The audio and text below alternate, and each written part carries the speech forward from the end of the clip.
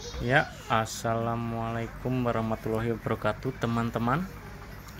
Ya, sudah lama Long Time Entertainment tidak mengupload video terbaru tentang setruman ikan karena banyak sekali kegiatan, teman-teman. Ya, mungkin sudah satu bulan saya tidak mengupload soal seteman ikan atau tidak nyetrum lagi karena banyak sekali kegiatan saya. Di sini saya ada ini komentar terbaru dan banyak sekali ya komentar terbaru yang belum saya balas. Uh, dan ini ada komentar terbaru itu 99 paling terbaru itu belum saya balas dan yang lain-lain apalagi?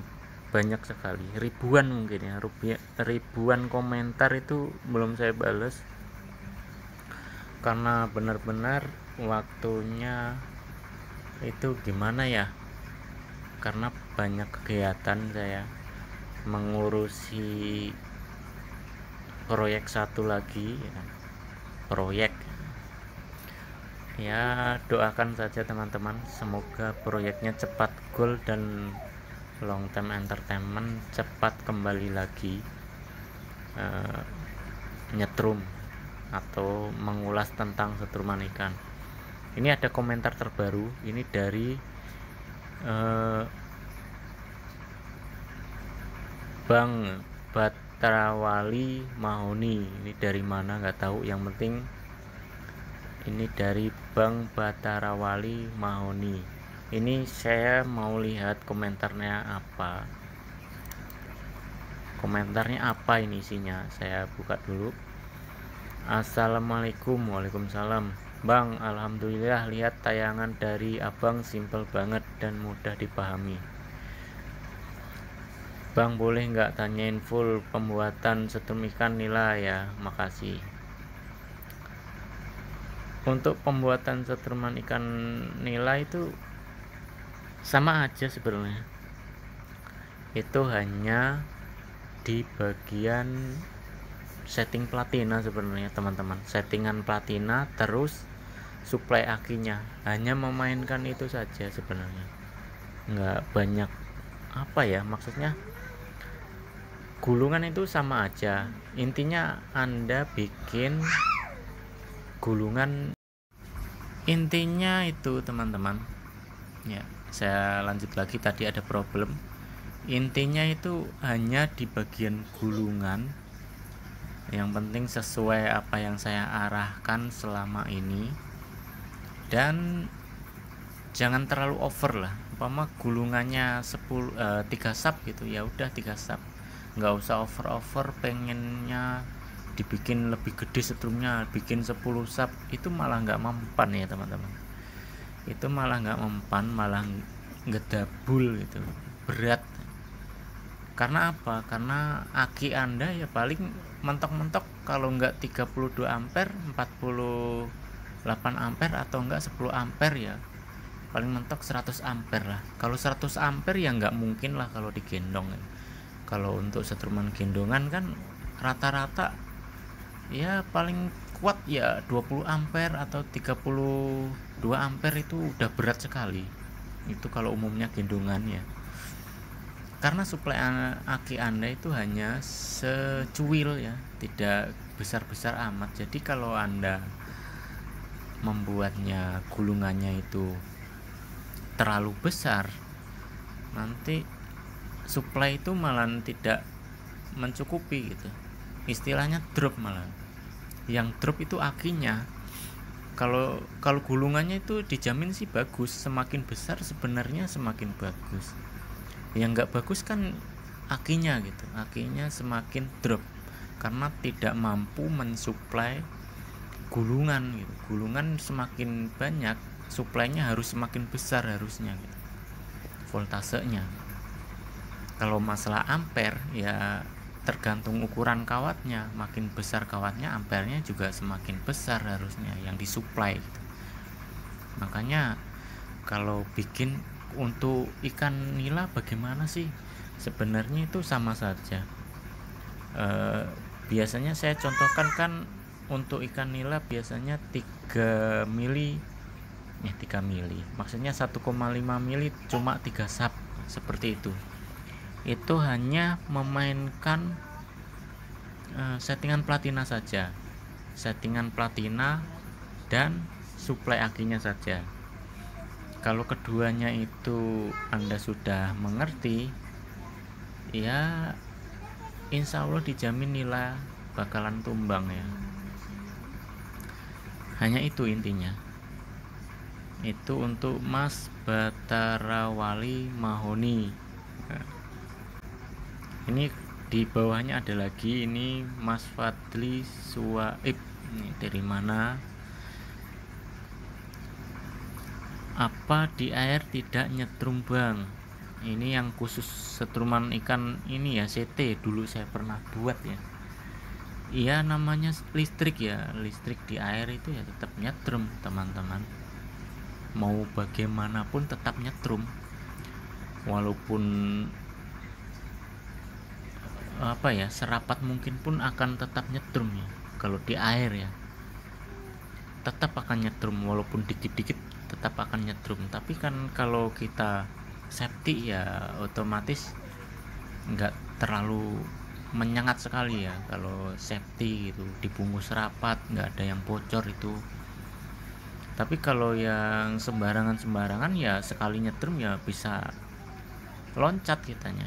Bukannya loncat lagi bisa apa ya tengkurep gitu. Ya gitulah. Nah ini untuk Mas Fadli penasaran mungkin dia. Apa di air tidak nyetrum bang? Ya tetap nyetrum. Namanya listrik tetap akan nyetrum. Ini ada di bawahnya ini. Berbagi ilmu kusnadi. Ntar dulu saya lihat semuanya dulu. Nah biar kelihatan ya nih ada komenannya agak sedikit pedes ini. Bos bikin konten yang lebih bermanfaat bagi yang nonton. Kalau cuma gitu biar anak baru lahir biar apa ya lahir bisa bikin penasaran orang ujung-ujungnya yang nonton bikin kecewa. Gini loh bang. Saya ngupload kan ini sudah jadinya saya jelaskan ini sudah jadinya. Jadi ya ini hanya penjelasan-penjelasan. Itu kan apa ya? E, modifnya seperti itu modelnya bentuknya seperti itu. Untuk cara pembuatannya ada di video yang lain. Pokoknya acak-acak lah. Acak-acak koleksi video saya acak-acak. Jangan sungkan acak-acak saja nggak apa-apa di acak-acak itu video saya nggak bakalan morat marit gitu. Nggak bakalan acak-acakan. Diwacak-acak cariin yang cocok maunya apa gitu. Cari mau bikin uh, platina modifnya bagaimana caranya cari aja. Karena ini hanya video penjelasan yang ini ya. Untuk tutorial pembuatannya pembuatannya ada. Nah ya kayak gini-gini nyelkit-nyelkit ini nggak apa-apa sih. Ini biar lebih memperbaiki saya untuk membuat konten nggak masalah. Tapi kalau apa komentarnya lebih lagi lebih lagi biasanya sudah disaring sama YouTube biasanya. Kalau komentarnya udah melampaui batas itu biasanya YouTube sudah me, itu ya memprotek. Jadi eh, komentar-komentar seperti itu sudah nggak bakalan nongol ke sini. Itu sudah peraturan dari YouTube. Jadi kalau ada yang komen aneh-aneh itu biasanya udah uh, di itu ya dihapus sama YouTube sendiri. Saya nggak ikut campur ya nggak tahu menau. Kita lanjut lagi. Ini di ada di bawahnya. Ini di Mas Dewa Angga. Kalau buat aki 3 berapa SSP berapa lilit Bang waduh. Tiga aki kalau tiga aki akinya 12 volan berarti berapa itu? Eh 36 volt ya?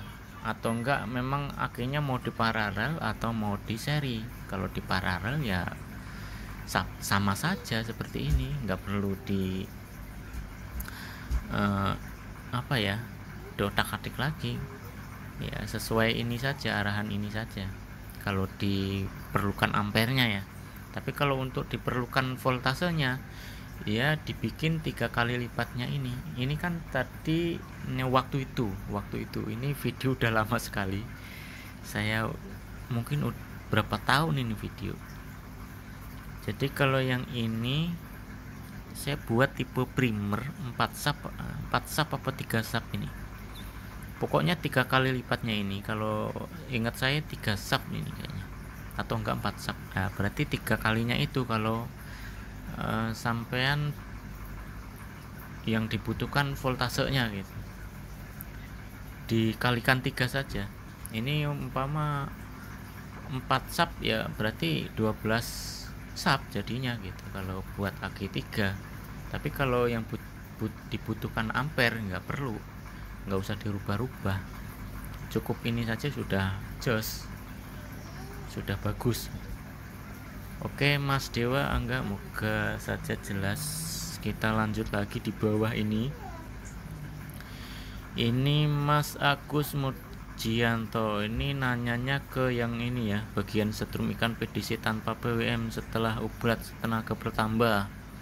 Ini pertanyaannya aduh setik berani sangat berani bro. Itu kalau diadu setik Nah, mesin ini akan otomatis berhenti. Walaupun tanpa eh, apa ya namanya rangkaian protek ya seperti yang memakai PWM gitu kan harus pakai rangkaian protek ya. Kalau ini beda. Ini tanpa rangkaian pun ini walaupun adu setik dia aman dia aman. Kekurangannya itu sama. Kekurangannya hanya nggak bisa tahan air itu aja. Mau PDC ya kan. saat maupun ini sama saja. Kena air langsung dor. Itu saja. Ini diadu setik mau di uh, diadu setik seharian pun nggak bakalan uh, apa ya terjadi apa-apa ya. Karena uh, ini nanti akan berhenti otomatis ini saya juga nggak tahu kenapa kok bisa begitu gitu. Kemungkinan besar sih itu karena bebannya terlampau berat jadi aliran listriknya itu berhenti otomatis dia. Begitulah kemungkinan. Bukan kemungkinan ya memang begitu. Kalau e, beban outputnya berat dia otomatis berhenti karena ini kan tidak ada PWM nya teman-teman. E, Mas Agus ya ini enggak ada PWM nya jadi tidak ada pendongkraknya gitu. Istilahnya tidak ada apa ya istilahnya ya? Kalau PWM itu untuk pendongkrak ya. Istilahnya dipaksa. Nah, istilahnya dipaksa. Ini tidak ada yang memaksa gitu. Ya kalau dia outputnya kena beban berat otomatis dia akan berhenti sendiri gitu. Kecuali yang memakai PWM kalau dia tidak memakai uh, protek kan dia istilahnya di uh, kerja paksakan gitu. Kalau yang pakai PWM tidak pakai protek terus outputnya itu diadu atau kena beban berat nah dijamin ini ai apa namanya fatnya ini akan dor dor dor gitu teman-teman. Gitulah penjelasannya. Karena kalau yang pakai PWM itu istilahnya mesin yang kerja paksa. Makanya tenaganya itu strong karena di e, kerja paksa dia. Walaupun kena beban berat dia tetap lanjut gitu. Kecuali yang ini. Ini kalau kena beban berat terlampaui dari tenaganya dia akan langsung berhenti e, mengaliri listriknya gitu ke output gitu. Coba sendiri dah. Pokoknya kalau anda sudah bikin jadi adu setik tempel sekencang-kencangnya perlu e, bila perlu adu setiknya diikat saja. Terus di on kan nggak bakal terjadi apa-apa. Coba saja. Yaitu jawaban untuk Mas Agus Mujianto ini saya apa namanya e, balesin komentar ini mungkin hanya sebeberapa saja ya. Karena ini banyak sekali kalau saya balesin satu-satu durasinya panjang sekali. Ini hanya beberapa saja. Terus ini ini ada yang tanya lagi apa tanya lagi apa ini? Ada yang berkomentar saya berkali-kali terus door fatnya apa masalahnya? Kalau bikin settlement model PDC seperti ini ya. Ini mungkin pertanyaan buat yang mana ya? Yang memakai PWM atau yang tanpa PWM ya kalau untuk yang tanpa PWM door terus itu berarti ada yang bermasalah di itu. Gulungan coy. Berarti ada bermasalah di gulungannya. Nggak mungkin nggak. Kalau di gulungannya benar dia jarang door mungkin hanya panas sekali. Tapi kalau diteruskan juga door juga sih. Karena tanpa PWM kalau door terus baru dinyalakan door baru dinyalakan door nah ini Mas Imam Musapak ya Musapak ya. Moga-moga penjelasan saya ini uh, bisa dipahami. Ini yang khususnya yang tanpa PWM ya saya jelaskan di yang tanpa PWM itu kemungkinan kok door terus itu karena itu cuy yang jelas itu ya dari gulungan trafo feritnya nggak ada yang lain lagi. Dipastikan dari situ kalau yang setem ikan PDC tanpa PWM ini. Saya sudah berkali-kali coba. Memang dari itunya dari gulungan feritnya itu memang harus benar-benar harus cocok gitu. minimal eh, sebelum dimasukkan ke mana? Ke fatnya gulungannya itu sebelum diumpankan ke fatnya lebih baik dites dulu. E, trafonya itu bagus di e, frekuensi berapa. Saran saya e, trafonya ini kalau bisa menghasilkan frekuensi antara 1 kHz sampai 6 apa apa ya sampai 16 kHz gitu loh ya.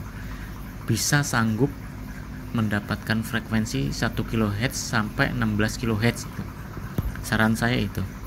Ini. Bikin trafonya kalau bisa ketika dites menghasilkan 1 kHz sampai uh, 15 kHz lah ya. Sekitaran itu antara itu. Jangan sampai 20 kHz ke atas. Kalau bisa 15 kHz ke ke bawah gitu. 15 kHz ke bawah dan mak, e, minimal 1 kHz di atas 1 kHz terus di bawah e, 15 kHz gitu antaranya itu. Kalau sudah di atasnya 20 kHz ke atas itu wajibnya ya wajib pakai yang itu ya. Yang menggunakan PWM seperti ini menggunakan PWM karena apa karena yang tanpa PWM ini dia kan tidak ada itu ya pengatur frekuensi ya. Kalau yang menggunakan PWM kan ada pengatur frekuensinya. Jadi frekuensinya dia manteng. Tapi kalau yang tanpa PWM dia tidak ada pengaturan frekuensinya. Dia frekuensinya bisa tinggi bisa turun tinggi turun tinggi itu jadi tidak stabil sekali. Tapi kalau untuk menghasilkan listrik dia benar-benar uh, kencang gitu. Bisa lah kalau untuk mencari ikan nila bisa. Tapi uh, itu frekuensi dari uh, trafonya ini nanti naik turun gitu loh. Jadi itu akan membuat fatnya cepat meledos gitu. Ya seperti itu intinya di gulungan teman-teman. Kalau yang PDC tanpa PWM itu kok fatnya meledos terus itu intinya di gulungan. Gulungannya nggak cocok dijamin meledos terus. Usahakan gulungannya menghasilkan frekuensi antara 1 kHz sampai 15 kHz itu aja. Di antaranya itu antara 1 kHz sampai 15 kHz kalau sudah bukan dari uh, frekuensi di antara 1 sampai 15 kHz udah dijamin acak adul teman-teman. Ya. Ya mungkin seperti itulah penjelasannya biar nggak panjang lebar. Ini kalau saya terusin makin lama teman-teman. Lama sekali.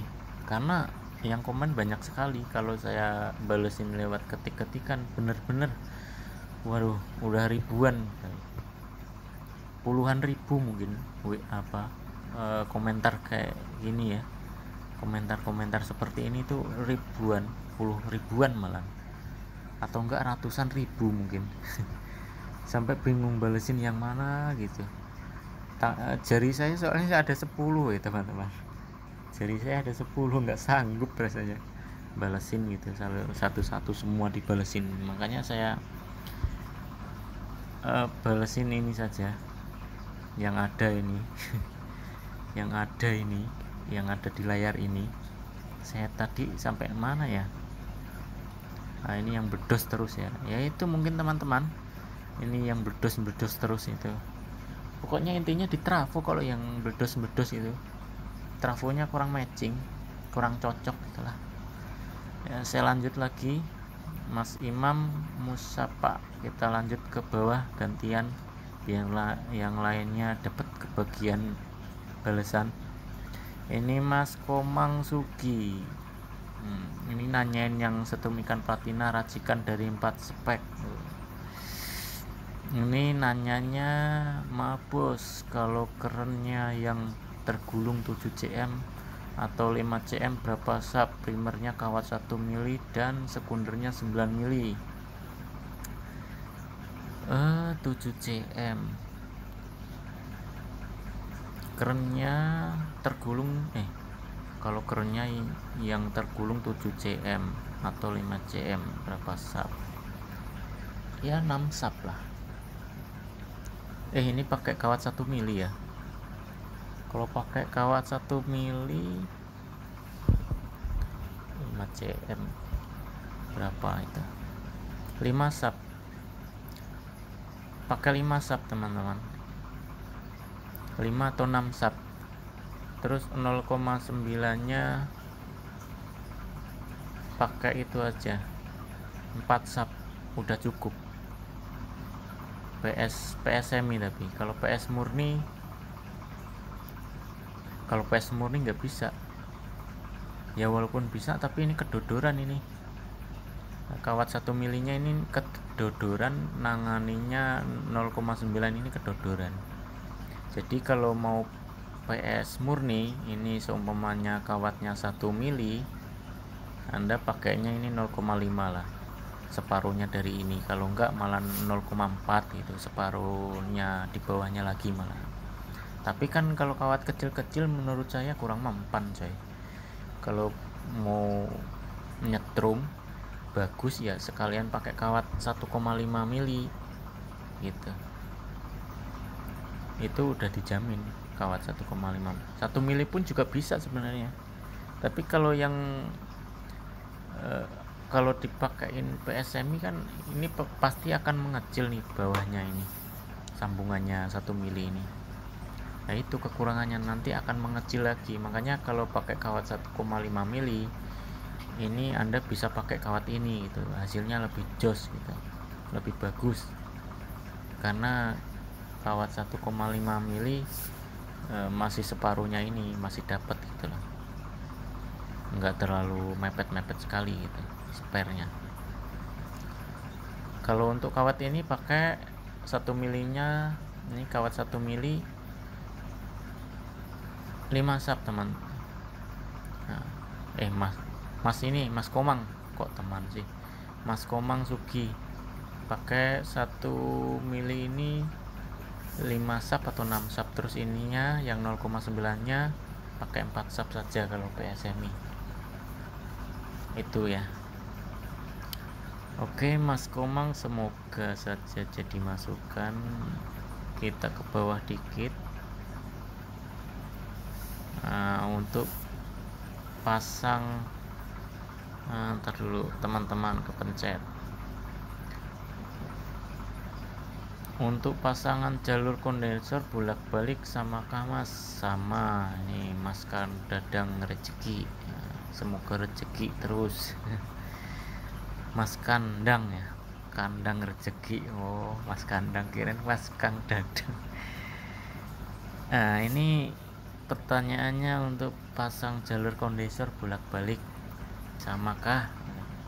Ya sama saja kalau kondensor bolak-balik sama aja. Yang penting jangan kabel ketemu body body ketemu kabel dibulak-balik gitu ya ntar konslet.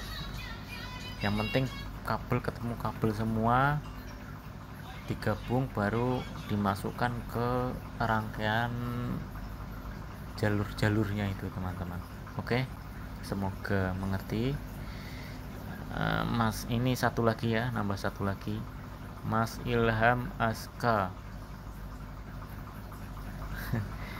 Sok-sok jang apa ya sosok jagoku membuat setrum kayak jago saja. Oh. ini mungkin ngecen saya ini. Sok jagoan kali ya sok jago aja membuat setrum kayak jago saja gitu ya kan saya juga masih belajar bro. Kan saya awal membuat channel ini juga sudah saya perlihatkan saya juga masih belajar. Tapi kan apa ya berbagi ilmu saja. Ya berbagi ilmu saja. Walaupun saya juga belum pinter-pinter amat karena saya juga masih belajar masih mencari belum maksudnya fake. Ya, bangkotnya bangkot tukang setrum itu belum saya bahkan masih ada yang lebih jago-jago lagi daripada saya. Banyak. Makanya ya ini sekedar sharing tadinya ini YouTube saya ini. Sekedar sharing berbagi ilmu karena saya kan membuat setrum kan ya sedikitnya lumayan lah. Ikan nila bisa kena gitu ikan lele kena. Ya otomatis kalau untuk orang yang belum bisa sama sekali ya bermanfaat sekali itu. Uh, ilmu-ilmu yang sudah saya upload itu gitu.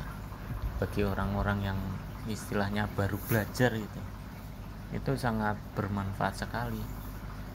Apalagi orang-orang yang apa ya istilahnya tidak tahu sama sekali tadinya gitu. Ucuk-ucuk melihat terus nonton terus bikin bisa. Wah itu sangat bermanfaat sekali bagi mereka gitu. Ya intinya itulah. Saya sih nggak jago-jago amat mas. Serius saya nggak jago-jago amat. Jadi ya mohon dimaklumi namanya berbagi ilmu ya masa harus nungguin jago dulu atau enggak nungguin bangkot dulu ya keburu kiamat gitu. Walaupun ilmunya tidak setinggi mungkin tapi kan kalau dibagiin kan lumayan lah.